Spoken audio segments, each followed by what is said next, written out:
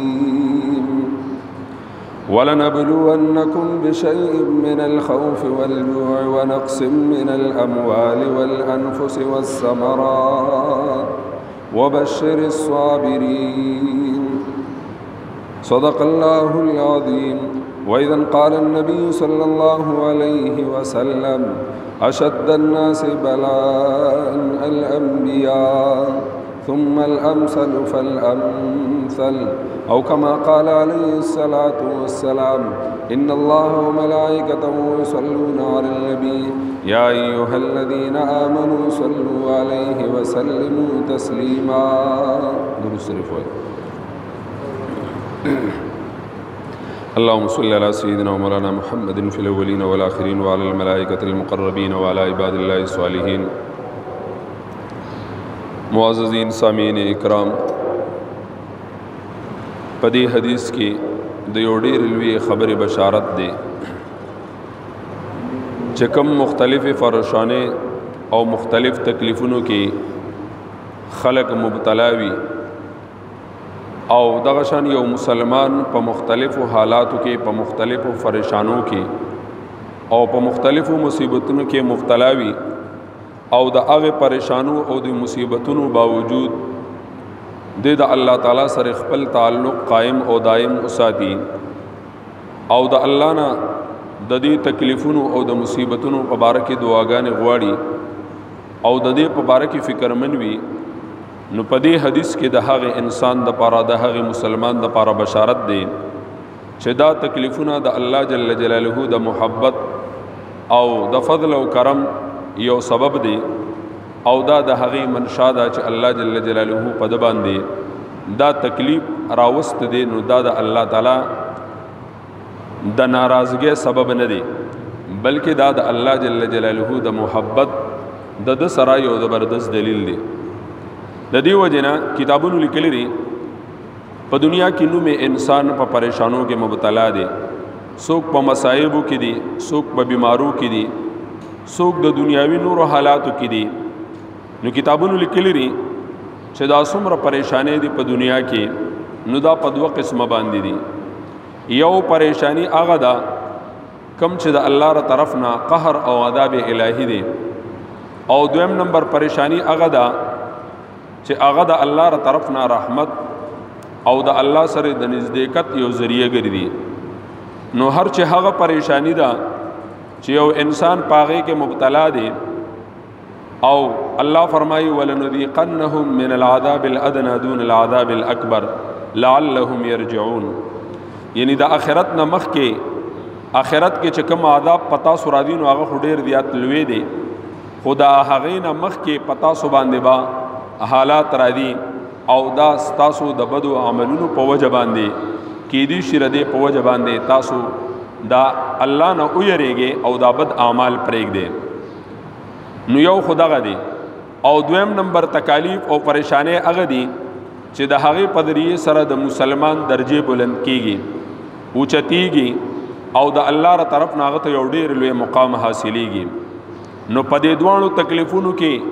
او پرې دوانو پریشانو کې د زمکه او د اسمان فرق دی اولنی پریشانی هغه ده چې په هغه پریشانو کې د د الله سره خپل تعلق چې کم دینو قائم او دائم نه ساتي د د الله په تقدیر باندې ګیله او شکوي کوي او دی وی چې په مخ د زمکه باندې الله ذلی درې چې په ما باندې دا حالات راغلي دي او د د اصلاح د پاره چې الله کوم اعمال را لېګلې دي نو په هغه اعمالو کې د د کمی راغی او د هغه په مقابله کې د د دې تکلیفونو د لری کولو د پاره نور ظاهری اسباب چې کم دین او هغه اختیار کړل او دغه شان توبه او استغفار نشته دي نو کتابونو لیکلي دي چې کله در باندې حالات ترالل او د الله په تقدیر باندې دی ګلی او شکوي شروع کړي او تا وی چیرې دا حالات پما ول راغلي دي او نور ظاهري اسباب د خپلو کړل د اعمالو نه علاوه نو کتابونو لیکل دي دا پد باندې د الله تر طرف نه یو عذاب دی یو قهر دی یو سزا ده الله دې هر مؤمن د داسې حالاتو نه محفوظ وساتي او بل تکلیف هغه دی چې پتا باندې راغی او تا ته د دې تکلیف احساس هم کیږي او تجاړه هم او رنج او غم دا غړي او د هغه باوجود د الله په تقدیر باندې ګیلې او شکوې نه کې او مخکې چې د الله الله جل جلاله سره کوم تعلق د دې حالات سره سره تا د الله سره تعلق نورم زیات کړ نو دا د دې خبرې دلیل دی چې په دې تکلیف باندې الله ستا درجه نور مچتای او دا د انسان سره د الله تر طرف نه د محبت یو زبردست علامت او یو زبردست دلیل دی چې ستا د الله سره تعلق دی او الله تاسو سره محبت دی نو ځکه پتا باندې حالات راوستي دي او ته په دې حالاتو کې مزید نور الله ته نږدې کېږي نو خلاصه دا شو چې دوه قسمه تکلیفونه دي یو تکلیف هغه دی چې په هغه کې د الله سره ستا تعلق زیات شو او بل پتا باندې حالات رالل او تا الله پرې خو دو نو دار الله تر طرف نه امتحان نه دی دا د الله تر طرف نه عذاب دی او قهر دی او عذاب الهی دی نو سمرم چې حالات په مسلمان باندې را دي دی به مزید د الله سره خپل تعلق قائمي نو په دغه حالاتو کې به الله رد تربیت کوي او د تبع الله د خیلاره او د حق وینا او د صحیح گفتگو انداز او د خپل صحبت رهنمایي به الله رد عمل په وجه باندې کوي بیا په دې کې یو سوال دی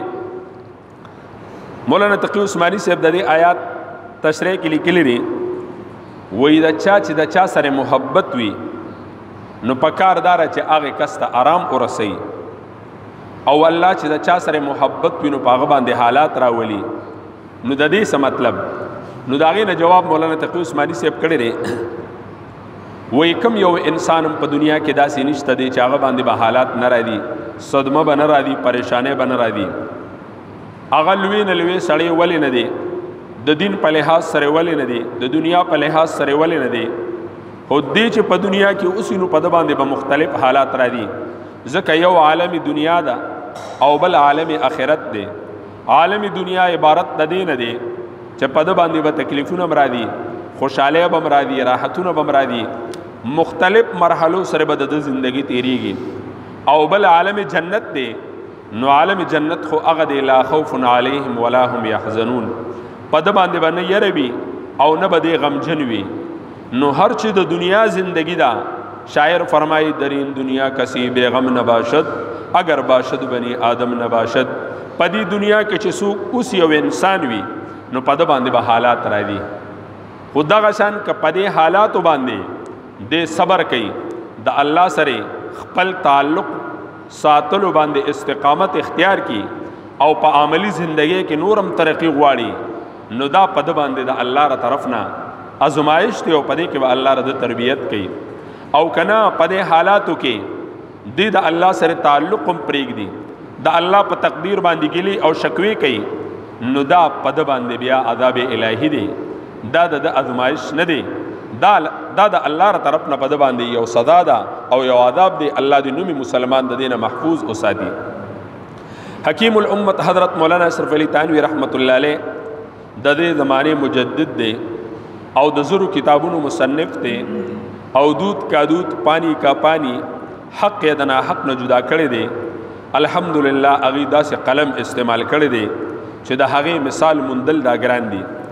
هغه په خپل مواعیدو کې واقع نقل کړی دا وی حضرت علیه السلام په ملاقات کې یو کس راغی او ورته وی چې حضرت زما د پاره دعا وکا چې په زندګۍ کې زه داسې جوړ شم چې د الله پنيز باندې هم محبوب انسان وي او ما ته داسې دعا وکا چې زما زندگی مخکلي وي او ما ته زه ښه انسان په مخ د زمکه باندې جوړ شم او په ما باندې د حالات او مصیبتونه نه را دي نو حضرت علیه السلام متو فرمایل په جواب کې حضرت زه خدا دعا نشم کولی او ته په مخ د زمکه باندې وګرځا شتا تکم انسان ملاو شو نو زه به ستاده لپاره دعا وغواړم او تا به الله دغه پشان جوړ کی نو دا کس په ملاقات کې وته ډیر وخت لګیدا چې دا په دنیا کې داسې سوک ماته ملو شي چې هغه په دې دنیا کې بیغم وي او مصیبتونه به پنوي او خوشاله او راحتونه به وي نو وی دې ډیر وګرځیدو خود ته څوک ملو نشو وی اخره کې د یو زرګر په دکان باندې ورغی چې وی قتل پاغي کې یو سنار ناشته او دغه شان سونه جواهرات خرسي حسنم ولا الله ورکړو بچي ور سره ناشته وغم ډیر زیات خکلیو او دغه شان چې کوم روزګار کینو اغم د پیسو اغشتلو خرصولو روزګارو نو دو ووی چې یاره په دې دنیا کې ماته دا انسان بیغم ښکاری او دا ډیر راحت والدی او د بلار شه موحد علیه الصلاۃ والسلام ته به ویم چې ما د پاره دعا د الله نه وغواړه چې الله ما د قشان جوړ کی خړم به هغه کس لورغه هغه ته وې د تاسو سره مشوره کوم زه د الله پیغمبر لورغلې او ما ورته ما ته داسې دعا وکړه چې د په دنیا کې بیغمه انسان جوړ شم نو ما ته وې زه خو نشم کولای خو ته وګوره په دنیا کې چې تا ته څوک خخ کاری زراغه په شان ستاده پر دعا او غواړم ته باغ شان نو دی هغه سنار لورغه هغه ورته وی خبردار ته زما په شان سوال نه کې که زما زندگی دی وکتلا زما د حالاتو نه خبر شوي نو ته به وې چې یرا داسې انسان د په مخ د زمکه باندې هیڅ څوک مله جوړ نه کی او به ورته وی کدا زما مال حال دی که زما دا بچی دی او زما دا دیک نه دا خلک ویني را ویني او زما دا دغه شان دا هر سری او خلک یې ویني او دا بچی می دی نو دا په حقیقت کې زمانه دي د مجبورې ما دا په حلاله طریقه باندې په حلاله طریقه باندې نه دي خو به هر حال دما پشان جوړېدل مغواړه بیا بل کس لورغه اغم ورته خپل اندرونی کیفیت وې ډیر ډیر وګرځیدو خود ته په دنیا کې درین دنیا کسی بیغم نباشد هیڅوک بیغمه او په مصايبو کې مبتلا ملو نشو دا سه کس ملو نشو چې په هغه مصايبو مصیبتونو کې مبتلا نوي هر انسان هغه شان دی دا غي نه بعد کې دی بیا حضرت علیه الصلاۃ والسلام لراغي هغه ورته وی حضرت څنګه چل دی وې دا خو ډیر وګرځیدم خو نو مې انسان ما ته په آرام باندې ملو نشو نو بیا وته حضرت علیه الصلاۃ والسلام په جواب کې او فرمایل وې د داس دعا ستاسو د پاره کول شم چې الله تاسو سره د عافیت معاملو کې او تعالی د عافیت ژوندۍ درکې نو دغه دعا در لکول شم بیا مولانا تقی عثماني سه د دې واقع لاندې لیکل دي دا حقیقت دی په دنیا کې نوم انسان هغه په آرام باندې نشته دی ځکه عالم دنیا عبارت نه دی نه دی چې په دې کې به راحتونه وي او په دې کې به خوشحالي وي او په دې کې به تکلیفونه وي او حالات پم په انسان باندې را دي او په دې ټولو کې به دې د الله حکم او د نبی طریقه دا به دې مخ کېږي شریعت په مخې تګدي او دې به ژوندۍ تیري نو د دې په وجه باندې بر د اخرت جوړیږي ځکه په دنیا کې که تاسو وګورئ نو څوک د چا د غریبې امتحان دی او څوک مالدار دی او دا غله صحت نه دی ورکړي او چاله صحت ورکړي دی اغله غریبي ورکړي دا او چاله غریبي ورکړي دا او اغله صحت نه دی ورکړي نو په دنیا کې نوم انسان داسې نشته دی چې دا هغه به سنا سچاحت وي او هغه به الله نه پوره کړي نو د دې وجنه کتابونو لیکلي دي په دنیا کې د انسان یو چاحت نه پوره کیږي او د ټولو نلوي چاهت د انسان سدي چې ما سره د مال وي ما سره د بانک بیلنس وي او زه د عہدو مالک او ما سره د افراد وي زما د بچی ډیر وي نه په دنیا کې انسان په مال حال باندې نه مړیږي یو چاهت هم د انسان په دنیا کې نه پوره کیږي او په مال باندې خو بالکل نه مړیږي وی لو کان لابن ادم وادیا وی که د ابن آدم د پاره د سرو زرو دغه شان وادیان شي وادي شي او دی بیا و چې د ما د پاره د دوه شي اغم ورکړي شي نو بیا هم دی په دنیا باندې مړخ په دنیا کې نشته دی ان تر دې چې دوی قبر ته ورسیږي او په تور خورو کې کېږدي نو بیا به هم پاغه خور باندې بر د خلا او خېټه ډک شي ورنه په دنیا کې انسان په دنیا باندې نه مړیږي نو خلاصه د دې دا شوا چې په دې دنیا کې نوم انسان د هغه دا زندگی داسې نشي ګرځېدی چې په د باندې به حالات ناراضي او امتحانات به ناراضي بیا دا هم لیکلی نبی علیہ الصلوۃ والسلام فرمایي وای ک یو بنده وي چې ما سره د الله محبت وي او په ما باندې به با ازمایش او تکلیف ناراضي نو دا سې نشي کېدی ځکه ازمایش او تکلیفونه به زیات تر په هغه خلکو باندې را دي کم خلک چې الله ته نږدې وي او کم خلک چې د الله په نس باندې محبوب ترين انسان وي نو په هغه کس باندې به حالات مرا دي په هغه باندې به مصیبتونه مرا دي او وی حالات او مصیبت په هغه باندې داسې را دي لکه څنګه چې باران وریږي ځکه کم کس چې الله ته نږدې وي په هغه باندې مرا دي او بیا پرشتي ته پوسم کوي وې زما په بندگانو باندې چې دا حالات راغلي دي فرشته تپوس کې دا الله نه وی اے الله تعالی دا پلان کې بنده ډیر زیات نږدې دي نو په د باندې تا دومره حالات ولې راوستي دي نو وی الله فرمایي چې دا ما ته نږدې دي او د د اغویر او فریاد او د ده هغه جړاګانې ماته دا ماته ډېرې زیاتې خوښې دي نو د دې په وجه باندې د پد باندې حالات راولم او د دې په وجه باندې د په آخرت کې ژوندۍ هغه جوړیږي دغه شان بل روایت کې راځي نبی علیه الصلاۃ والسلام حدیث مبارک دی وی الله فرمایي اے زما پرشتو لاړ شي او زما هغه بنده په حالاتو کې مبتلا کې د هغه حالاتو په وجه باندې د ماته د نزدېکت ذریعہ ګرځي او د ماته نزدې کیږي او بیا په دغه حالاتو باندې صبر کول دا د الله په نس باندې محبوب ترين انسان دی فرمایي حدیث شریف کې را دي اشد الناس بلاء الانبیاء ثم الامثل فالامثل د ټولو نه سخت حالات په انبیاء باندې راغلي دي امتحانونه دي ازمایښونه دي او دغه شان بحثونه مباحثې دي د خلکو خبرې کول دي او هغه برداشت کول دي دا د ټولو نړمبي انبیاء برداشت کړی دي او په انبیاء باندې راغلي دي او بیا چې کم انسان الله ته څومره نږدې وي نو په هغه کس باندې به د ټولو نه زیات دا حالات راځي او دا حالات برداشت کول دا د الله په نيت باندې بهترین انسان دی نو الله دې مونږ او تاسو لا د صبر صفت الله مونږ او تاسو لا راکړي دا شان حکیم الامت حضرت مولانا اشرف علي تانوي رحمت الله عليه یو بل واقعیا په خپل مواعظ کې را نقل کړی دا و یو دوه کسانو هغه مرګ ته بالکل نږدې وو د مرګ په بستر باندې پراته دي وې د یو کس په ځړه کې دارالل محبوب خوراک چې داغه سو چې ما ته هغه ملو شي او د بل کس په ځړه کې دارالل چې زما د محبوب خوراک دی چې هغه ما ته ملو شي یو غیر مسلم دی او بل مسلمان دی فرشتي الله لګي وی لاړ شه د هغه يهودي د غیر مسلم چې کم چاهت دی هغه پوره کې هغه ول پوره کوي هغه سیز ول وروړي بل مسلمان دی داغه سچاهت دی فرشتي الله لګي وی لاړ شه او داغه دا چاهت پوره نشي هغه سیز ته ضایع کا دوه فرشتي ملاويږي وی عجیب خبره ده زلی ګلم الله د یو کس ته خدمت لپاره چې دا سیز وته اورسوا ابل وی دی لګلم ماته وی چې دا سیز ته ضایع کړه نو دا الله په درگاه کې سوال کوي چې اے الله د دې څه مطلب چې یو له چاحت پوره کوي د مسلمان چاحت نه پوره کیږي نو الله وت فرمایي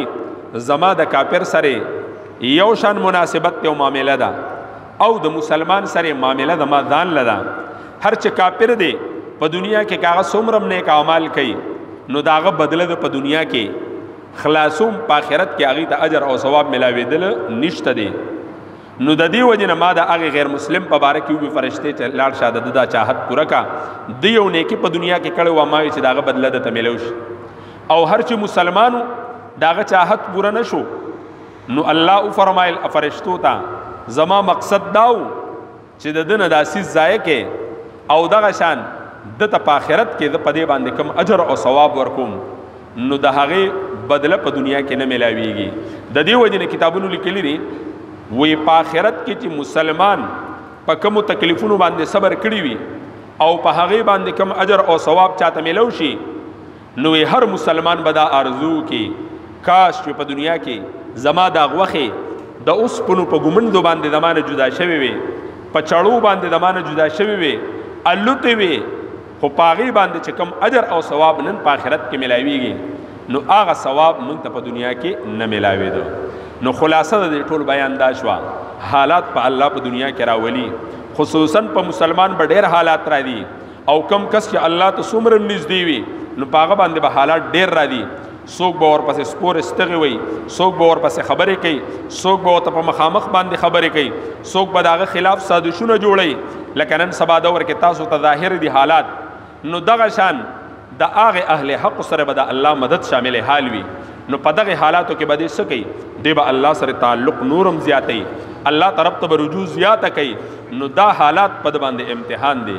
او کنه په دې حالاتو کې د الله سره تعلق پریږدي او دغه شان په اعمالو کې کمی راولي